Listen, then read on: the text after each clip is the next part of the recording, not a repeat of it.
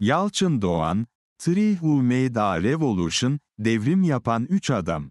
İktidarla ve diğer partilerle günlük siyasi polemiklerin ötesinde, bu, üçlünün, devrim hedefi belli, her alanda Cumhuriyet'in yüzyıllık fabrika ayarlarına dönüş. İngiliz ve Amerikan üniversitelerinde Rus tarihi okumuş, okuduğu üniversitelerinde Rus tarihi hocalığı yapmış. Çeşitli zamanlarda Rusya'ya gitmiş. 1955'lerde 1917 Sovyet devrimini anlatan önemli kitaplardan birine imza atıyor, Bertram Wolfe. Aradan 70 yıla yakın zaman geçmiş olmasın rağmen, 1917 Sovyet devrimi ile ilgili yazılmış önemli kitaplar arasına giren çarpıcı bir yapıt bırakıyor, Three Who Made a Revolution, Türkçesiyle, devrim yapan üç adam. Kim o üç adam? Lenin, Troçki, Stalin. Tarihçi Bertram Wolfe Rusya'ya gittiğinde Troçki ve Stalin'le tanışıyor, hem ikisiyle hem her kesimden yönetici ve insanla uzun uzun sohbet ediyor. Kitabın orijinal değeri burada. Lenin, Stalin, Troçki Çarlık direniyor Moğollardan miras, tarıma dayalı, merkeziyetçi ve bürokratik yapısı, baskıcı ve olağanüstü gelir eşitsizlikleri, sınıf farklılıklarıyla ayakta kalmaya çalışan Çarlık Rusyası. Saraylarda lüks, şatafat, balolar ve ziyafetlerle halktan bütünüyle kopmuş Çarlık. Öte yanda, milyonlarca ezilenler.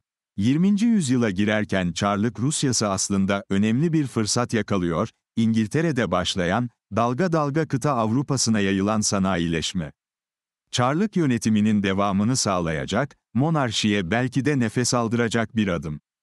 Ancak, Çarlık hala, modası geçmiş toprağa dayalı, sınıf farklarını daha da açan, halktan kopuk merkeziyetçi yapısında direniyor. Üç ayrı kimlik 1917 Sovyet devrimine giden yolda üç tarihi kişilik öne çıkıyor. Lenin, Troçki, Stalin. Kitap hem devrim sürecini, hem de bu üç kimliğin devrime katkılarını ve fakat bana göre daha önemli olan, devrim yapan üç adamın kişiliklerini, kendi aralarındaki ilişkiyi anlatıyor. Onların hayatlarını anlatırken, birbirleriyle kesiştikleri alanları analiz ediyor. Kitaba göre, Lenin çok çalışkan, zeki, neşeli bir portre olarak çizilirken, siyaseten, ki burası hayati önemde. Kırgınlıkları, fikir ayrılıklarını devrimci amaç uğruna görmezden geliyor. Troçki entelektüel, her zaman öne atılan, çalışkan, duyguları ağır basan, dolayısıyla yanlış yapmaya uygun bir kişilik.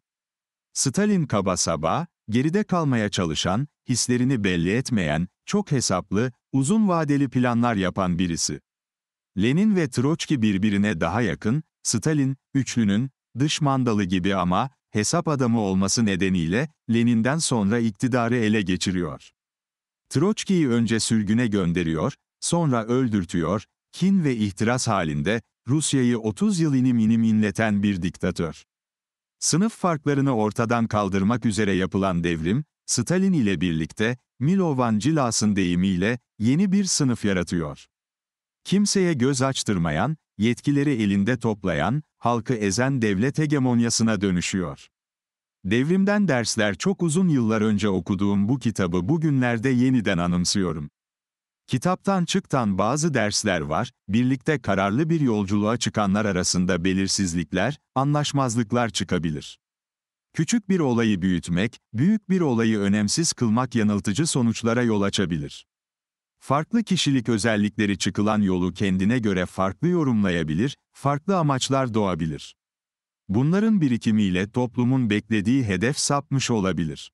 Üç adam arasındaki ilişkiler, özellikle Lenin ile Stalin arasında, Lenin daha hayatta iken kopmaya başlıyor.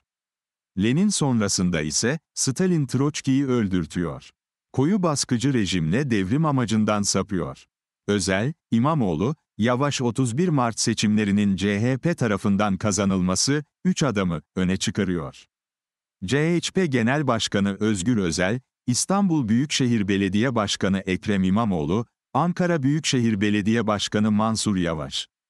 Ekrem İmamoğlu, Özgür Özel, Mansur Yavaş üçü de değişim için yola çıkıyor.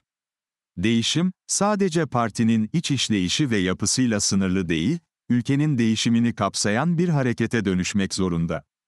Bu üç ismin öne çıkmasıyla birlikte, CHP'nin 31 Mart'ta elde ettiği başarıyı nasıl kalıcı hale getirebileceği, üç adam arasındaki ilişkinin ne yönde gelişebileceği her platformda tartışılıyor. Üç adamın, Lenin, Troçki ve Stalin ile aralarında elbette hiçbir ideolojik ve kişilik benzerliği yok. Yer, tarih, zaman çok farklı. Yine de, üçünde olması gereken ortak amaç ya da devrim birliği şu olabilir, yeniden demokrasiye dönüş, yeniden parlamenter rejime dönüş. Tek adam rejiminde hantallaşmış ve liyakatsız yönetimden yeniden akılcılığa ve uygarlığa dönüş. Üçlünün ilişkisi burada özel, İmamoğlu ve Yavaş'ın aralarındaki ilişki önemli. Ne tarih, ne ideoloji, ne siyasi koşullar, ne toplumsal yapıda herhangi bir benzelik olmasına rağmen ortada bir deney var. Devrim yapan üç adam, örneğini bana çağrıştıran neden bu. Demokratik merkeze oturacak bir CHP'de önce bu felsefeyi oluşturmak. Bir süre sonra da halkın nabzını tutarak kimse kimseden alınmadan aralarında görev dağılımına gitmek. İktidarla ve diğer partilerle günlük siyasi polemiklerin ötesinde bu üçlünün devrim hedefi belli, her alanda Cumhuriyet'in 100 yıllık fabrika ayarlarına dönüş.